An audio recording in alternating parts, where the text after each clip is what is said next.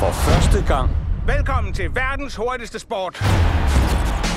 går bilernes verden Her kan kun de allerbedste være med.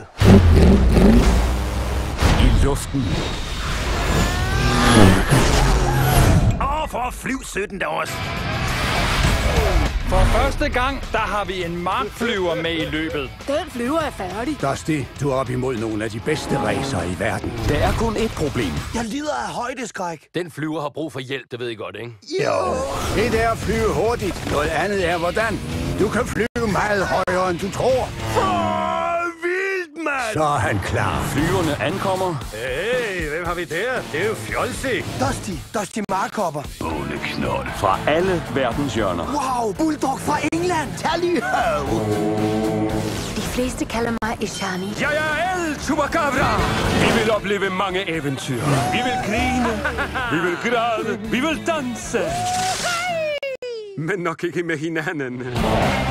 Intet må distrahere dig. Hun er som en solopgang efter et liv i mørke. Eller som frisk kunstgødning på en mark med udtørret græs. Det der er du ikke god til, min ven. Danke, fordi du repræsenterer os små flyvemaskiner. Men du er jo en bil. Alvorligt identitetsproblem. Fra Disney Tror du virkelig, du kan slå mig? Slinger! Jeg svinger min kappe mod dig. Du er gjort til skamme. Hvis du leder efter en helt, Skub hjem til landsbyen, Fjols. så kig op på himlen. Dusty Markhopper her. Jeg er fanget i et uvær. Jeg styrter ned. Det er faktisk en rørende historie om at være underhund, ligesom Fedtmul. Han er da ikke en underhund. Men han er en hund, ikke?